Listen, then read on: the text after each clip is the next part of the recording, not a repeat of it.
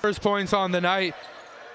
Swings it over to Ngamba. Ngamba's going to try a three, and that's nothing but net for Noah Ngamba. Over 40% from three, and he's going to try it from three there and sink it. First points of the game for Caleb Baker here. And a steal by Nadav Sahar. And that one is no good, but then put back by Anthony Dadu. Oh, and that one is too strong. Rebounded by Caleb Baker, and he's going to take it all the way to the basket, and good. Caleb Baker, that three to go, and cuts it to a one possession game. What a great play, spin move by Weber there.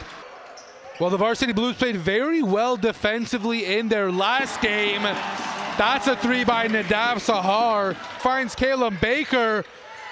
And that one is no good, but rebounded by Weber and gets it to go. A nice play by Lenny Weber. Baker working on Marcus Moore, who swings it over to Dane Quest, who finds his way all the way to the basket to end the first half. A buzzer beating layup. Rudnick finds Baker. Baker finds it back to Ngamba. He's going to take a three, and that one is good for Noah Ngamba. Double. How many times have we said his name? Weber, Weber, Weber, and Noah Ngamba getting the turnover and putting it up. Worst case scenario if you're Nipissing right there. Ngamba, who finds Dane Quest in the corner. Quest is going to work in his sweet spot. The midi again, and that one is good. Back to back mid range jump shots for Dane Quest. They get a look, they'll take it, but Baker liked what he saw. And he sinks it. Caleb Baker, a couple feet behind the three point line. It doesn't matter.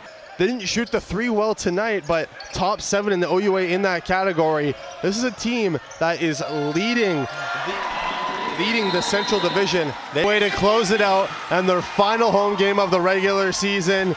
Caleb Baker showing out in his final home game as a varsity blue.